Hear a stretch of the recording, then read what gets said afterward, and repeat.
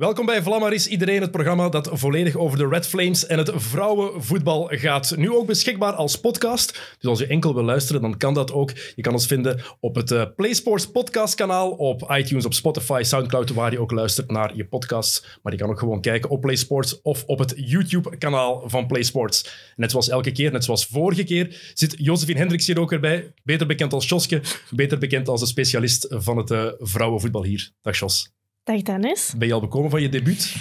Uh, ja, ongeveer. Uh, ik had leuke reacties gekregen en zo. Maar ook wel reacties dat ik er heel rustig en beheerst bij zat. Maar dat is eigenlijk ja, hoe ik totaal niet ben. Ik ben echt het uiterste normaal. En dat is misschien maar schijn ook. Ja, ik denk wel dat het schijn is. Oké, okay, uh, vandaag tweede keer en je hebt opnieuw twee heel interessante gasten meegebracht. Ik heb Ella en Cassie meegenomen. Um, allee, uitgenodigd. Um, Ella is spits. Um, nu bij Anderlecht. Ella van Kerkhoven. Ella en voor de luisteraars volledige namen erbij zeg ja. natuurlijk. Uh, ook een beetje mijn buurmeisje. Wij wonen niet zo ver van elkaar. En um, heeft ook een verleden bij Inter Milaan en bij Gent. En uh, ja, heel kopbalsterk en zo, supergoeie spits. En Cassie is uh, pitbull op middenveld, nummer 6. En ja, staat bekend voor 90 minuten echt alles geven. En Cassie is officieel Cassandra Missipo. Klopt. Maar we mogen je Cassie noemen. Ja, officieel is het eigenlijk Nundutu Eboa Missipo Cassandra Jessica. Maar... het zou wel veel zijn om dat elke keer te zeggen. ja, bij deze... Probeer eens één keer. Ik dacht, nee, Sam. Als ik dat op voorhand had geweten had ik het kunnen doen, nu is het een beetje moeilijk. Uh, welkom allebei in, uh, in de studio. Voor we aan beginnen, nog één dienstmededeling. Iedereen die hier in deze studio komt uh, voor een opname, dus dat is ook voor de paddock of voor MidMid, iedereen wordt getest hiervoor. Dus iedereen die hier zit is negatief getest, zowel voor de camera als daarachter. En daarachter zit ook een Sam Kerkhoffs, die ook negatief getest is. Dag Sam. Ja, al vier keer deze week. Al vier dus keer. Dus de insinuatie dat Kevin hier besmet zou zijn, kloppen niet. Oké, okay. kijk, dat is meteen uit de wereld geholpen. Dat is, voilà. dat is, dat is heel belangrijk. Toch voor alle Vlammaris-kijkers? Absoluut. Voilà. Uh, we gaan het straks hebben over jouw, uh, jouw fanheid. Of ik weet niet hoe het, wat het juiste woord daar, daarvoor is. Fanschap, vanheid, ik weet het ook niet. Het fan zijn. Uh, ja, fan zijn. Maar we gaan eerst even met onze gasten praten. Lijkt me toch iets interessanter nog. Ja? Uh, ieder zijn mening. uh, Cassie, misschien met jou beginnen. Uh, hoe gaat het met jou en hoe gaat het met jouw blessure? dat is een vraag dat ik heel veel hoor. En ja, ik denk, ik antwoord er altijd op, zel, allee, op dezelfde manier en het gaat goed, het gaat oké. Okay. denk uh, niet, niet aan het voetballen, ja, dan, dan zijn het niet altijd top en top, maar denk, uh, we gaan vooruit. We go with the flow. Mm -hmm. Zo, ja, zo'n zaken eigenlijk. Oké. Okay. Je moet trouwens de klok nog even uh, starten, Sorry. niet onbelangrijk. We hebben, zo rustig. We hebben een, we hebben een limiet hier, het is, het is daarom. Ah, um, Ella, jij bent ook aan het herstellen van, uh, van een knieblessure. Um, hoe verloopt het bij jou? Een um, beetje hobbelig. Um, ik ben voor de tweede keer geopereerd uh, 18 oktober. Uh, voor het littekenweefsel eruit te halen. Dus het is niet zoals ik verwacht had. Uh, maar nu begint het wat uh, te lopen. Ik ben ook aan het lopen. Eindelijk, zegt. Eindelijk, ja. Dus een nieuwe stap gepakt. Uh, en dat is wel gewoon wat, wat progressie maken. Hoe lang zeg je uit? zelfde dag. zelfde dag kruisband gedaan, zelfde dag geopereerd. Ja, want dat is dus, eigenlijk het straffe daaraan. Ja. Jullie zijn geblesseerd geraakt in dezelfde wedstrijd. Ja. ja. Hoe waanzinnig is echt, dat? Echt zo ja. kort op één. Ik denk, ik herinner me echt nog een moment dat... Maar het enge ervan was gewoon dat ik nog zei, toen we de dag ervoor hadden getraind, dan zei ik, oh, er gaat iemand echt zijn kruisband of iets zijn knieën, dat er iets echt, mm. Ik had dat gezegd. Dan was, lag zij op de grond en dan zei ik tegen mijn teamgenoten, want ja, zij speelden toen nog bij Gent, en dan zei ik van, oef, iedereen moet echt opletten, want er gaan nog knieën vallen. Hè. Kort nadien, ik denk twee, drie minuten, lag ik er mooi bij. Dus ja, dat is echt... Uh. Ja. Dat dat ja, want Cassie, ja. jij zat toen bij Anderlecht. Uh, Elia speelde toen bij Gent. Nu speel ja. jij bij Anderlecht op dit moment. Um, en ja, de reden daarvoor is dat je dat ook dacht, is omdat het veld er als een patattenveld bij lag. Mag je dat zo zeggen? Ja, ik denk, er zijn heel veel discussies over geweest over dat veld. Ik denk dat... Allee, iedereen heeft zijn eigen ervaring, maar allee, ik denk op topniveau dat dat gewoon echt een, een lelijk veld was. Hè. Ja, het is gewoon niet oké okay dat ze eigenlijk voortdurend moeten uitwijken naar andere velden. Als het, uh, het A-veld niet beschikbaar is, dat kan eigenlijk niet. Hè? Ja, maar dat moeten we misschien even duiden. Um, jullie mochten niet spelen op het veld in Anderlecht en moesten uitwijken naar Schaarbeek. Waar het veld zo gegaan is, ja. een redelijk B- of C-veld is. Klopt dat? Op dat moment. Ja, ik denk dat dat echt... Ja, dat is gewoon het uiterste van een, een ploeg dat nu eigenlijk vier keer kampioen is geweest. Dan zou, dan zou je niet verwachten dat je op zo'n veld zou moeten spelen. Maar ja, kijk, dat is nu gebeurd. Ik hoop dat iedereen zijn lesje daaruit geleerd heeft. Wij hebben dat, wij hebben dat ook geleerd. En dat we daar niet meer gaan, op, allee, gaan, op, gaan opspelen. Hè. Ja, als jullie dat nog eens zien, zouden jullie dan weigeren om effectief op het veld te stappen? Als jullie zien, oké, dit is de staat van het veld, dit is te gevaarlijk. Maar weigeren is altijd moeilijk, denk ik. Daarom. Voor voetbal, ik wil altijd voetballen. Dus... Maar ik denk dat ik er wel heel anders tegenover zou staan ondertussen. Ik denk dat ik wel, moest ik het op voorhand weten, zou ik er wel veel meer tegen protesteren als, eh, als ik nu gedaan heb, ja. Ja, want hoe kan het eigenlijk? Ja, Jos, jij vertelde dat ook, van ja, als eh, de belofte teams moeten spelen bijvoorbeeld, dan krijgen die voorrang op de vrouwenploegen. Ja, dat kan eigenlijk niet. Mhm. Want we hebben het over de kampioen. De kampioen van de voorbije jaren. Beste team in België. En ja, die moeten dan uitwijken naar zo'n veld. Dat is echt... Ja, maar dan komt je wel weer in de financiële discussie. Als een beloftespeler naar zijn kruisbanden Exact. scheurt, dat dat meer geld kost om het dan zo uit te drukken. ja, moeten is- gewoon voldoende velden eh, gemaakt worden dat er niemand op een slecht veld Of een betere logistieke planning Maar ik vind het ook verkeerd om te zeggen dat, dat vrouwen voorrang zou- zouden moeten krijgen op belofte. Ja, je kan, je wel een, betere, keer- je moet wel een betere planning maken, dan Ja, gewoon beter op elkaar, Ja. gewoon in Ja, beter ik, op elkaar ik denk past. gewoon in het Gewoon algemeen. Ik denk in het algemeen dat je gewoon voor iedere speler, speelster gewoon de beste omkadering moet hebben. Daar gaat het eigenlijk om. Al is dat de C-ploeg, de B-ploeg, de, eh de seniorenploeg, maakt niet uit. Je moet gewoon een goede omkadering, want ja, als je een club zet, dan gelooft jij ook in iedereen die er is. Idem ook. De mensen, alleen de, de spelers die moeten spelen op het veld van Crossing Schaarbeek, speelt er maar eens op elk, elke week drie keer. eh, allee, het, Mhm. gaat niet alleen om die ene match dat wij een keer gespeeld hebben. Klopt. Het gaat ook over ja, wie dat er nu nog allemaal op moet spelen. Ja, dat is eigenlijk ook een, een nadeel. En Maar als het bij speelsters met een grotere naam gebeurt, of van een grotere ploeg, dan gaan er wel meer alarmbellen af natuurlijk.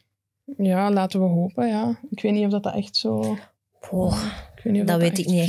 uiteindelijk, uiteindelijk zijn we nu toch ook twee Flames ehm, die er allee, nu oud zijn en die niet kunnen meedoen ook met belangrijke wedstrijden van, van de Flames. En ja, allee, dat is, ook- dat is- het is even belangrijk. Hè? Dus het maakt niet uit wie dat eruit valt. Ik denk gewoon dat dat vermeden moet worden door gewoon alles stop aan te bieden. En als het dan gebeurt, ja, dan is het echt wel jammer. Maar nu kun je het zo op zoveel steken en dat zou eigenlijk niet mogen. Eh, Cassie, jij bent volle bak aan het revalideren, Ella jij ook, maar het verschil is, jij zit nu zonder club. Is dat een bewuste keuze van jou geweest, om Ja. zo te revalideren? Ja. Waarom? Eh, ik ben iemand die altijd eigenwijs is geweest. ehm, en nog altijd is. Ehm, maar ik voelde me daar beter bij. Ehm, die blessure, dat was echt iets dat heel veel heeft meegebracht. Dat is eigenlijk een beetje nu... Het, ja, je wereld stort ineen.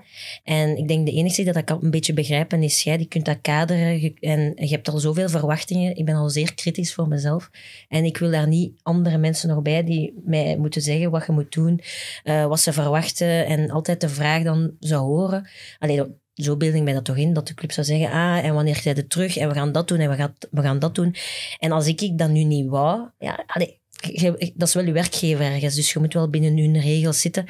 Dan heb ik gewoon gezegd dat we ja, het contract laten aflopen. En ehm, ja, ik, ik voel mij ook gewoon vrij. Eh, Mhm. Ik kan doen wat ik wil en ja, no pressure. Is dat iets waar jij last van hebt, Elle? Dat je de druk voelt van de club, zeker nu je, je toch een kleine tegenslag hebt gehad? Ja, en ook Ehm. een vraag. Waart je geblesseerd bij het moment van de transfer?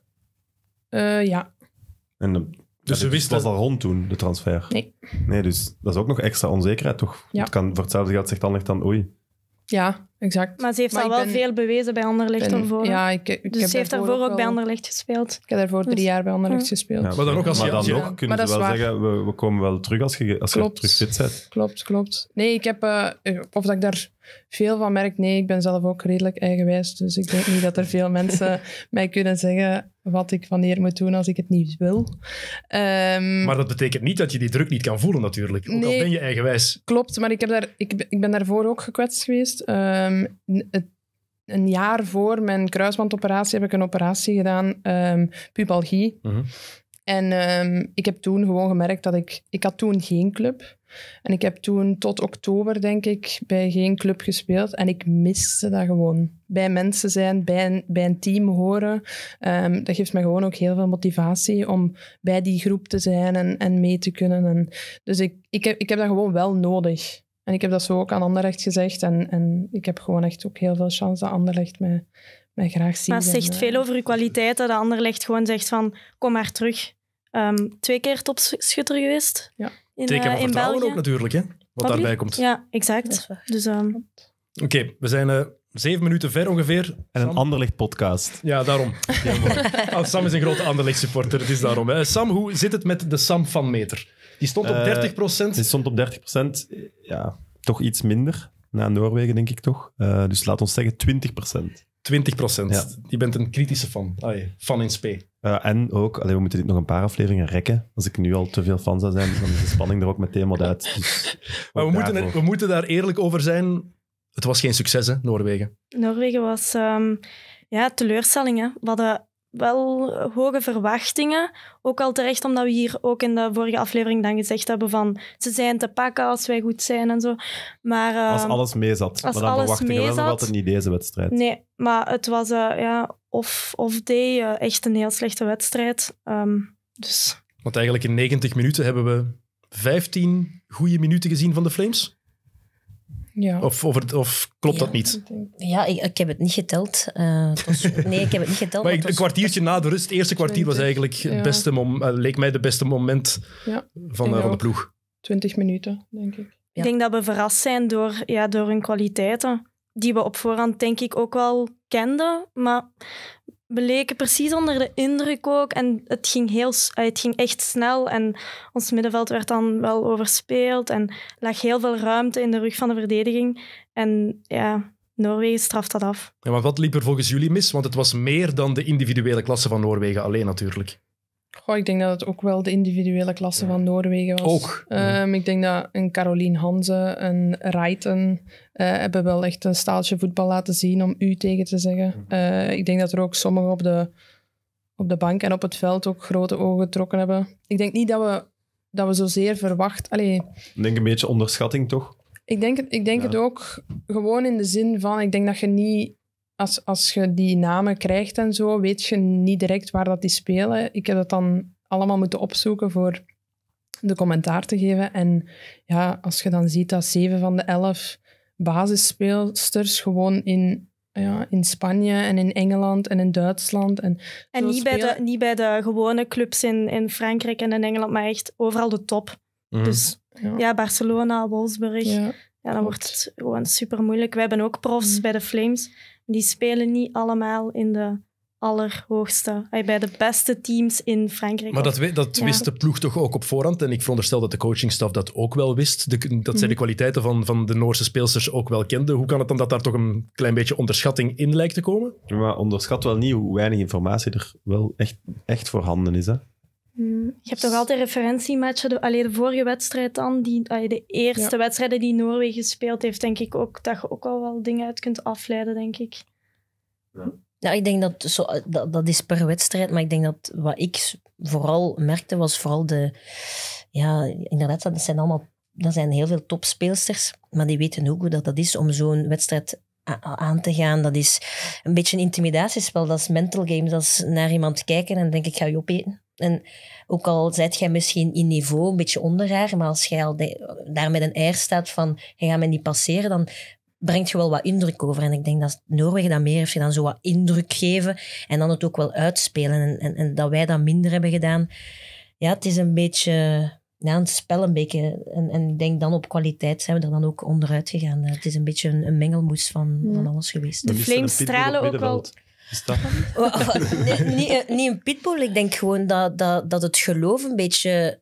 Hè, voor de wedstrijd, ik, ik, ik, ik herinner me dat van de vorige wedstrijd, hè, dan zijn we zo opgepept. Maar eens dat we dan door de tunnel gaan en dan op dat veld, is dat precies of dat soms achterblijft in de kleedkamer. En ik denk dat we dat wel altijd moeten meenemen tot op de laatste minuut. Om te zeggen van, wij zijn België, wij zijn de Flames. En dan moeten we gewoon in elk, elke actie tonen. En We waren te braaf. Maar is dat dan een gebrek aan ervaring? Is dat een gebrek aan zelfvertrouwen? Waar ligt dat aan?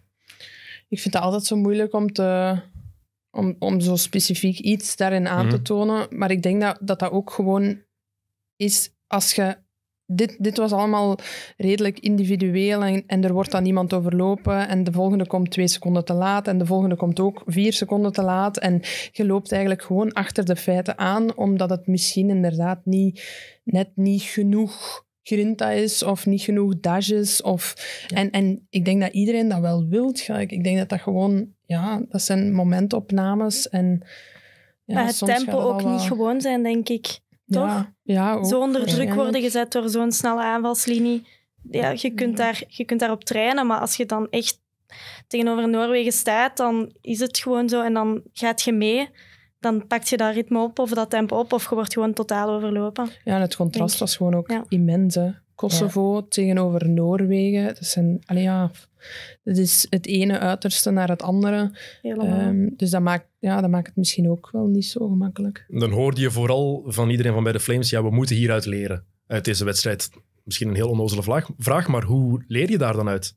En hoe snel leer je hieruit?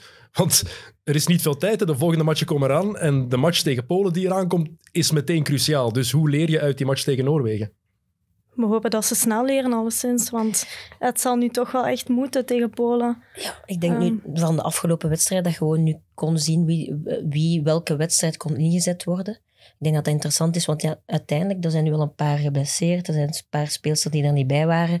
Dat was een, een, nieuwe dynamiek, een nieuwe groep. En dan tegen Noorwegen. Ja, dus allee, dat is allemaal wel wat wennen. Dus ik denk dat, dat de coach en, en de stafleden en de speelsters zelf nu hebben gezien. Kijk, deze speelster kan nu ingezet worden tegen Polen en deze meer voor een andere ploeg. En ik denk dat dat nu daaruit geleerd is geweest. En, en in het begin zou je niet weten wie dat je zou moeten inzetten nu, of wie dat het beste past voor...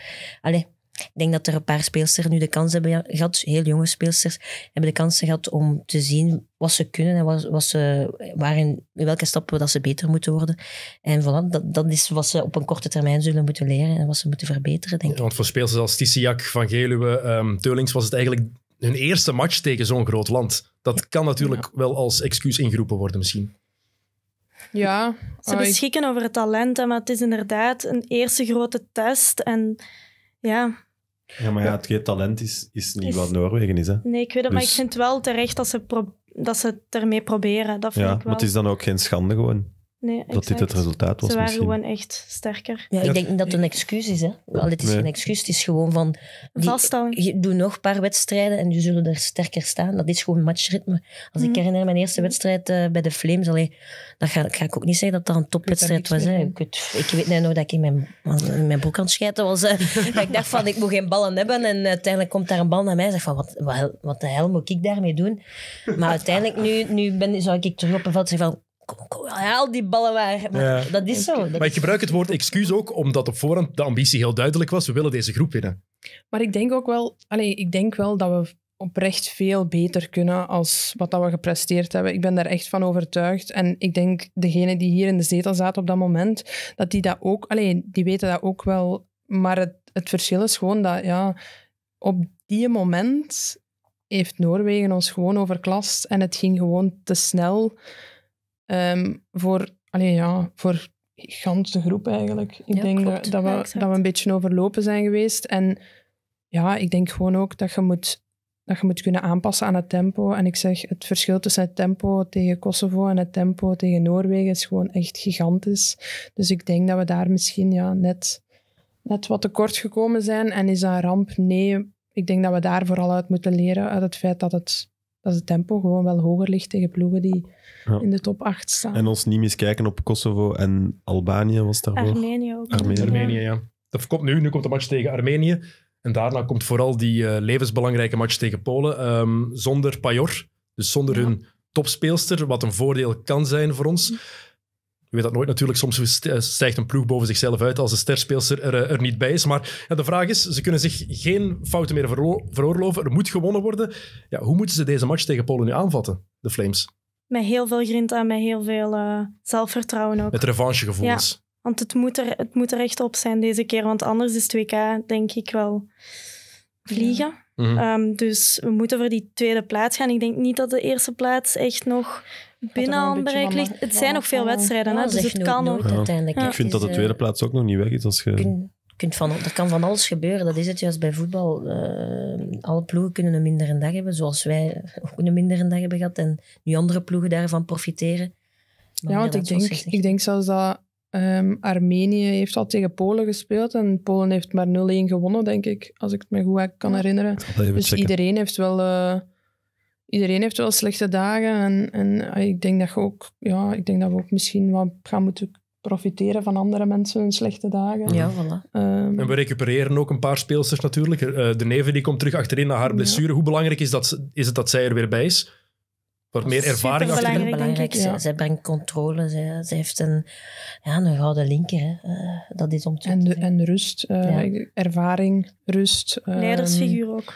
Ja, iemand die gewoon ja, die, die op haar gemak is van achter. Ehm, wat dat je sowieso. En, en ik denk dat Tisiak en de neven naast elkaar ook wel gewoon Ja. een duo Dat is goed voor Tisiak dat ze eigenlijk naast, eh, Ja. ja, naast super ervaren Flame kan spelen, daaruit kan leren. Allee, daarvan kan leren. Want de neven is ook kapitein bij Anderlecht, denk ik. Klopt. Dus eh, dat is echt wel een zeer goede verdedigster. Odeurs is ook weer terug. De keepster waar veel om te doen was eh, de vorige, ehm, ja, de vorige interlandperiode. Er waren dan de selectiecriteria waar zij niet aan voldeed. Ik vond het allemaal heel vaag. Daar ga ik heel eerlijk over zijn.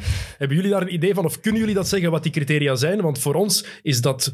Wij horen dat en meer informatie krijg je daar ook niet van. En dan is het allemaal is het maar gokken eigenlijk wat dat is. Hè? Want nu is er wel weer bij. En dan is de vraag misschien ergens, hoe kan dat in een maand al zo veranderd zijn?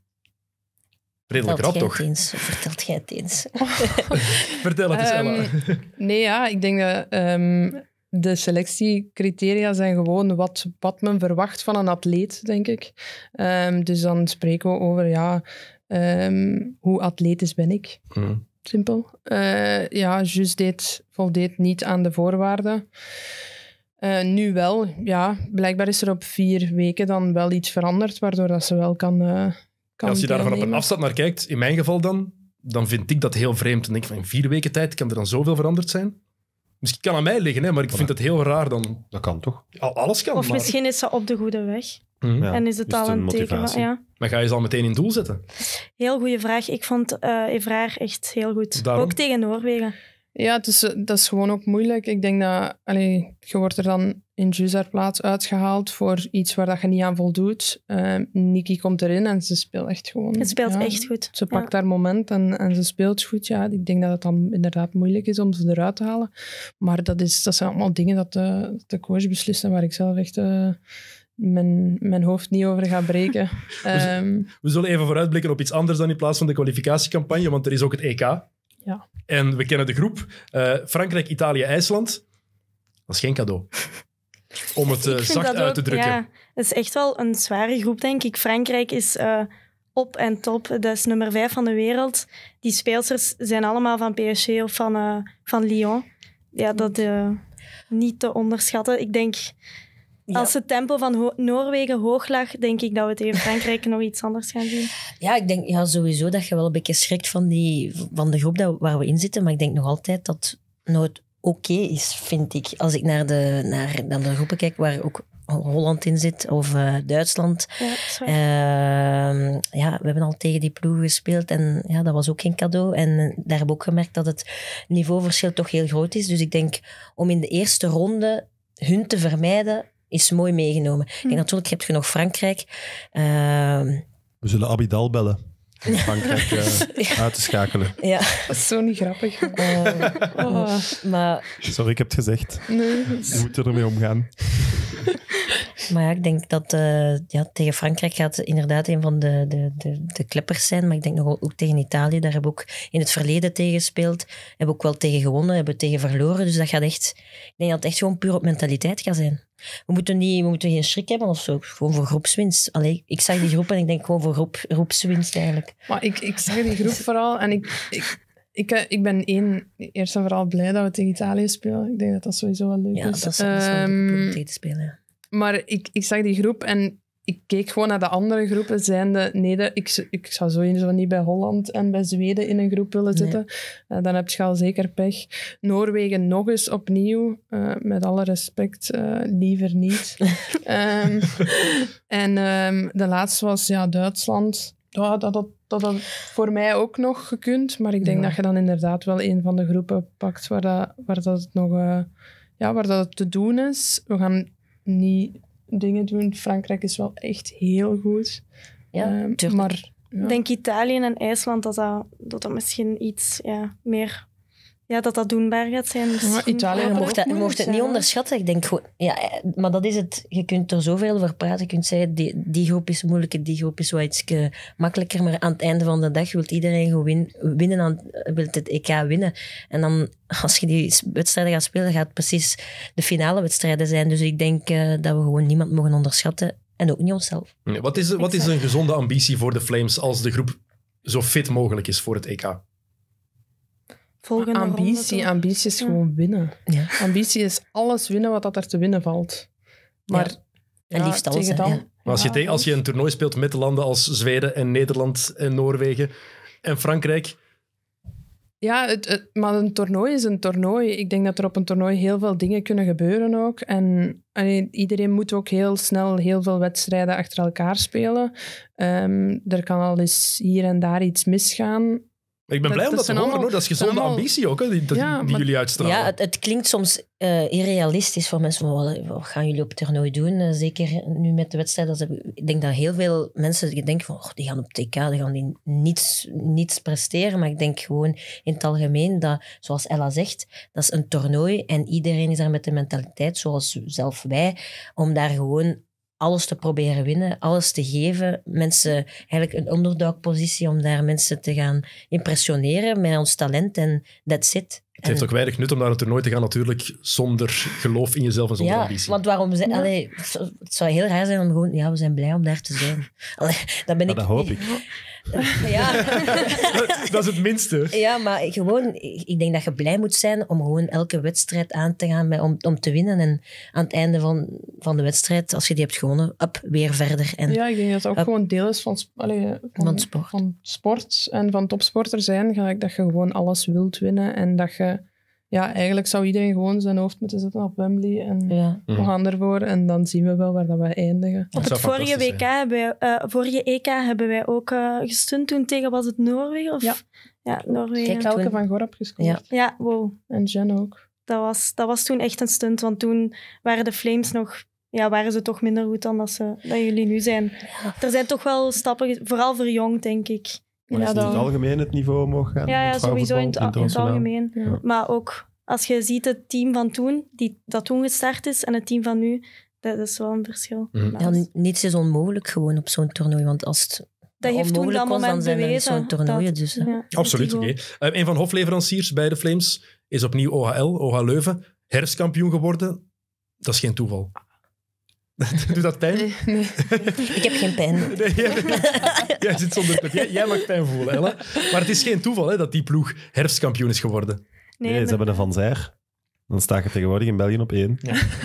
Blijkbaar is, inderdaad, dat is, Ja. blijkbaar is dat het geval. Nee, maar bij Leuven zijn ze al een hele lange tijd eh, daaraan aan het werken. Met onder andere het project van de Yellow Flames.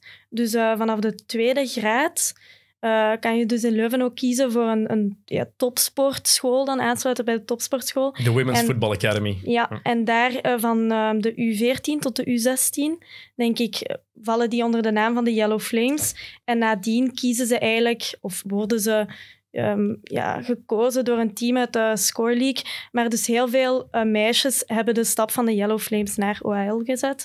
Ehm, Dat is en- eigenlijk het topsportbeleid. De, de jonge toptalenten die worden gecentraliseerd in Leuven, zoals dat met het volleybal in Vilvoorde het geval is. Ja. Nu, heel wat clubs zijn er wel niet blij mee dat het allemaal in Leuven gebeurt. Omdat er zoveel voor Oud-Heverlee Leuven kiezen. Klopt. Ik denk als je zou spreken met iemand van Genk, eh, dat, dat je inderdaad die reactie zou krijgen. Het is niet eerlijk. En, Ik, en ik, snap begrijp ook. het. Ja, be- ik, snap begrijp het ook waarom dat het is. Maar ja, het is ook een studentenstad. Allee, ik bedoel, ze kunnen ook rechtstreeks gaan studeren.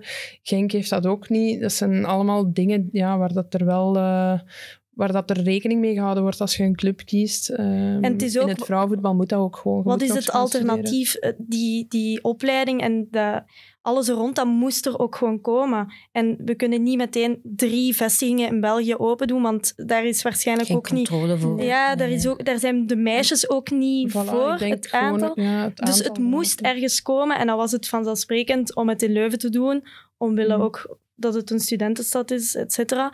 En het is wel super positief voor de evolutie van het vrouwenvoetbal, want die meisjes van OL die zijn echt heel technisch en die, die kunnen, in tegenstelling tot bijvoorbeeld hoe Ella haar eh, jeugd en ha- haar opleidingen heeft gekregen, zijn die meisjes veel beter omkaderd. En die kunnen nu echt werken aan hun voetbal in plaats van nog duizenden en één Mhm. andere dingen te doen of te combineren. Want Ella, bijvoorbeeld, uw jeugdopleiding, dat was toch... Ik heb ook mijn jeugdopleiding gedaan bij, bij Leuven gewoon. Ik heb eh, vanaf mijn twaalf, denk ik, ik ben van Bekkenvoort.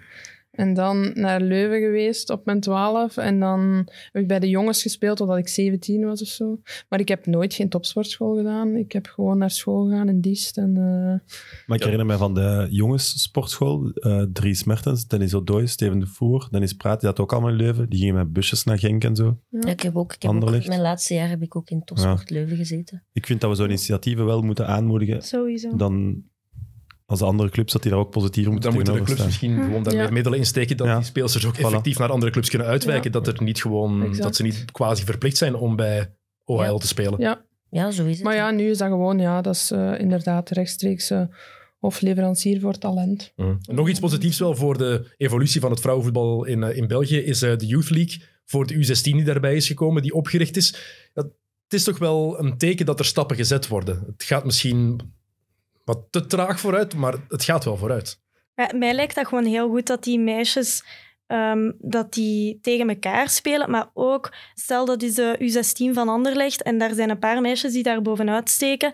Die kunnen dan ook sneller de stap maken naar het A-team of meetrainen. Of, dat is gewoon goed, denk ik, om die tegen elkaar ook te laten spelen. Maar het is, denk ik, als ik me goed heb geïnformeerd, nog op vriendschappelijke basis. Of het is nog niet echt niet. Daar eh, ja, met een klassement passeren, of zo, denk ik. Het is Ja, oké, we beginnen al. Maar ik denk dat, ik ga er zeker in mee dat dat, dat dat een goede manier is om gewoon een, een soort van dynamiek te creëren, zodat die jonge meisjes gewoon al weten op welke intensiteit ze gaan beginnen komen. En, en een soort van, ja, van, van eigenlijk, dat zijn topclubs. En, en, en die tegen elkaar spelen. En zo gaat dat ook zijn in de, de Score League.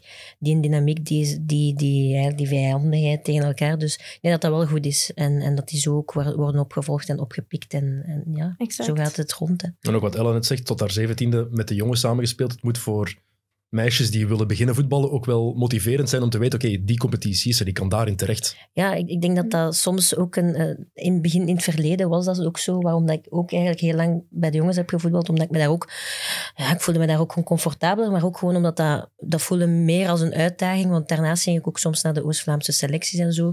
Maar dan merk ik dat de dynamiek ook toch nog altijd anders was. Alleen het niveau en dergelijke. Dus ik ging graag terug naar de jongens, waar dat echt zo vol intensief ging en gewoon... Ja, die hadden geen rekening met u. Hè. En ik denk... ehm, Die dat- echte competitiviteit die daarin ja, zit. voilà. En ik denk dat dat nu voilà, perfect is om nu ook een competitie te creëren voor jonge meisjes die gewoon ja, ook alles willen geven. en Maar ik denk dat dat in, in, in, in onze tijd... Wauw, dat is echt heel oud. Ehm, ik denk dat dat in onze tijd eh, gewoon niet de...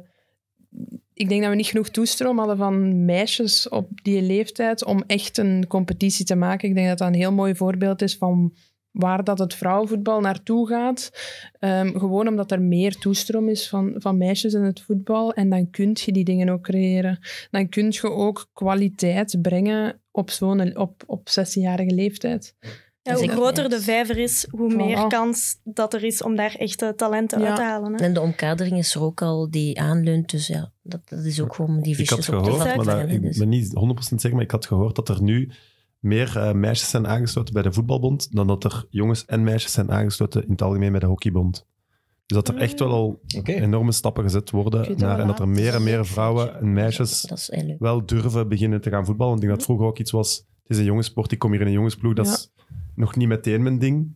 Ja, en dat dat nu wel aan het weghebben is. Mhm. Dat is ook wel een rol die de Flames ook spelen natuurlijk. Hè. Het is niet enkel gewoon op het veld, maar het is ook effectief om ja, nog meer jonge meisjes naar het voetbal te krijgen. Dat ze effectief ook kunnen opkijken naar, oké, er zijn vrouwen die het ook op het hoogste niveau doen. En toen jullie acht, negen jaar waren, waren er niet echt veel Belgische vrouwen waar jullie naar konden opkijken. Maar we konden Femke ook niet naar de Flames kijken. Hè? Ik, ik, Nee. ik, ik wist daar eigenlijk niets van. Maar ja, wat, dan was dat in Wezenmaal en zo. Dat ging Ja. kijken. Ik beelde mij voor, allee, ik, als ik begon te voetballen, dat was, ik beelde mij gewoon in in een jongenscompetitie, Ja, wat heel raar was. Hè. Dus ik keek op naar Ronaldinho en ik dacht, ja, ik ga ooit naast Ronaldinho staan. Maar ja, niet weten dat ik dat dat, dat eigenlijk nooit eh, op ba- basis van geslacht gaat gebeuren. Dus van Flames of van meisjes die voetballen, Mhm. Ik wist daar niets van. Maar super mooi om te kijken als, als ik ga kijken op de trave als de Flames spelen. Super veel families, jonge meisjes. En die dragen ook echt de truitjes met de namen op. Dat klinkt heel raar, maar in het vrouwenvoetbal is dat echt niet zo normaal om met een truitje rond te lopen met, met uh, Missipo op of Van Kerkhoven op. Maar dat is daar echt en die komen handtekeningen vragen. En... Maar nu op Anderlecht ook. Dat is, wel, Ja. dat is ook het leuke daaraan. Als je dan in het Lottopark speelt of zo. En dan... Er komen echt wel heel veel jonge meisjes komen echt wel kijken. En dat is ook allee, dat is leuk om te zien dat die interesse hebben. En oh ja, wat dat je ziet, kun je ook behalen. Dat is ook echt wel iets wat dat... Ja, wat dat Ja, heel duidelijk veel wordt is. gezegd, En wat je ook ziet in andere sporten, hè. ik kijk naar het hockey. Dat is vooral bij de mannen dan dat ze daar al echt prestaties hebben, eh, hebben gehaald. Maar binnen het basketbal zijn het de vrouwen. Ja, De Cats, als je kijkt hoeveel jonge, jonge meisjes zij nog extra aanspreken. ja exact. Het is een, een sneeuwbaleffect eigenlijk. Hè? Ja, ik denk gewoon als je ziet dat iemand het kan maken en dat er mogelijkheden zijn voor jezelf, heb je ook meer motivatie om gewoon verder te doen. Als je dat niet hebt, ja, op de uur denk je, misschien ga ik toch een andere sport doen of Mhm. gewoon gaan chillen en Ja, en ook studeren. gewoon, dat klinkt ook misschien belachelijk, maar het feit dat het op tv wordt uitgezonden en zo. Ehm, de Score League wordt nu twee jaar uitgezonden. De Flames, weet ik niet hoe lang, maar als, ze- allee, ik, als ik klein was, ik keek niet naar de Flames of zo, er waren geen Flames. Maar nu, dat is Ja, gewoon zo voor de hand liggend of zo. Je zet je tv op en je kunt naar vrouwenvoetbal kijken. Dus als jong meisje is de drempel toch veel lager nu om te zeggen, ah, dat wil ik ook. Exact. Ja, ik ben beginnen voetballen omdat mijn broer voetbalde. Ja, niet omdat ik het op tv had gezien. Maar voor ouders ook. Hè. Ik denk dat dat ook Exact. gewoon geruststellend is om je dochter te zien in een omgeving dat je, dat je denkt van oké, ze zal goed terechtkomen. Ik denk in het begin, ja, toen ik ook, ook zei, mama ik wil gaan voetballen, was dit ook van, met welke zever kom jij nu af? Ja. Maar uiteindelijk, aangezien dat zij gewoon geloofde en denkt van, het zal wel lukken of het is misschien een fase, maar nu, die fase is nu al wat langer bezig. Maar ze is, ze is blij dat ik ermee begonnen ben, maar het is ook de ouders. Dus het is echt de, de dochters, Ja. de ouders, het is alles bij. Het is normaal geworden. Ja. Ja. Dat is misschien wel het eh, allerbelangrijkste. De matchen die worden uitgezonden donderdagavond is de match tegen Armenië, dinsdagavond tegen Polen. Allebei te zien op Play 6. Ella, met jou als eh, co-commentator. Ja. Hoe bevalt jou dat eigenlijk? Goed, goed. Ja, ja, ik, ik amuseer me echt samen met Filip. Ehm, nee, het is leuk om te doen. Ehm, leuk een manier te hebben om er nog bij te zijn, ook al zijn ze er niet bij. Ehm, en ja, dus eh, het is leuk om je vrienden te zien spelen. Zou dit iets voor jou zijn, Cassie? Nee, nee, nee, ik heb ook al verzoekjes gehad, maar... ehm, Waarom niet? Ja, eh, eh, ik ben zo iemand... Ja, ik ben een heel rare vogel, maar ik speel graag, ik speel graag voetbal, maar ik ken er echt niets van. Wat? Niets, Maar zij blijft dat niet, zeggen. Hè. Ja, we, hebben maar- daar, we hebben daar laatst nog over gebabbeld. Maar dat- Ja, maar ik heb haar voor het laatst gezegd. Het is eigenlijk ook niet lang geleden dat ik Offside kende.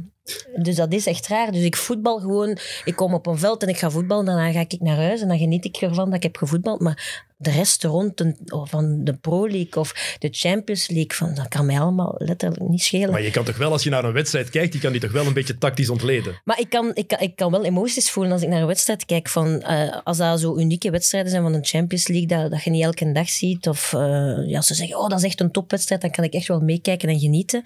Maar je moet me ook niet vragen van wie staat er op dat veld. En dat geldt ook soms voor vrouwenvoetbal. Ik kijk daar gewoon niet naar. Dus ik ga daar ook niet over meepraten. dat en is echt alsof doen, grappig, want we hebben het daar Ja. laatst nog over gehad. ja, dus ik ga niet alsof doen dat ik daar iets van ken. Maar ik kan zeker genieten van voetbal. Dat is, dat is gewoon van alle sporten van voetbal ook. Maar Het is, wel, het is wel heel eerlijk. ja, ze moeten het gewoon mij niet vragen. Ja, Dus, zo eh, zijn er mannelijke voetballers ook, hè, die ook niet, niet veel kijken en zo. Die...